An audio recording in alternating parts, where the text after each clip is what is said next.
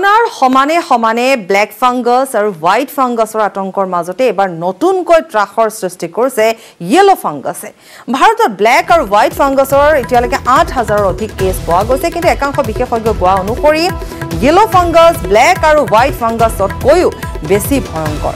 য়েল' ফাংগাছে যিধৰণে শৰীৰৰ আভ্যন্তৰীণ অংগবোৰক আক্ৰমণ কৰে তালৈ চাই এই ফাংগাছক অধিক মাৰাত্মক বুলি মত প্ৰকাশ কৰিছে বিশেষজ্ঞসকলে। উত্তৰ প্ৰদেশৰ গাজিয়াবাদত পোৱা গৈছে য়েল' ফাংগাছৰ প্ৰথমটো কেছ য়েল' ফাংগাছে শৰীৰৰ ভিতৰৰ পৰাই ইনফেকশ্যন আৰম্ভ কৰি গোটেই শৰীৰত বিয়পাব পাৰে। অৱসাদ অলপতে ভাগৰ লগা উশাহ নিশাহ চুটি হোৱা ভোক নলগা হজম শক্তি কমা ওজন কমা তদুপৰি চকুৰ সমস্যা মুখমণ্ডলৰ সমস্যাও হ'ব পাৰে।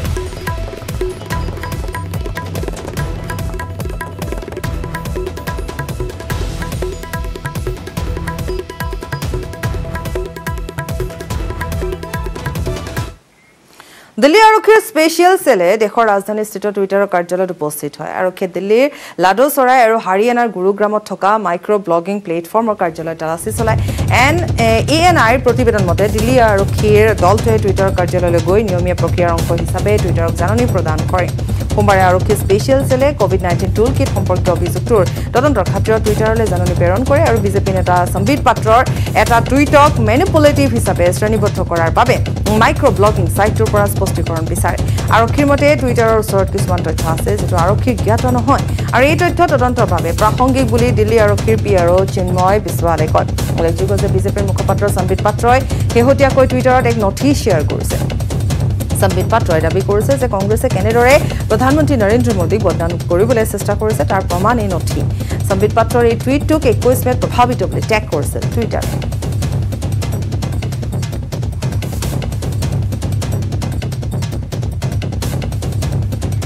ৰহাটো অতিমাৰী কৰোণাই ভয়াৱহ ৰূপ ধাৰণ কৰিছে। কৰোণাৰ বিৰুদ্ধে যুঁজি যুঁজি বহু চিকিৎসক এতিয়া আক্ৰান্ত হৈছে কৰোণাত এইবাৰ ৰহাটো আক্ৰান্ত হৈছে এজন চিকিৎসক আৰু একাধিক স্বাস্থ্যকৰ্মী। কৰোণাত আক্ৰান্ত চিকিৎসকগৰাকীৰ নাম হৈছে ডক্টৰ আকাশ ডেকা।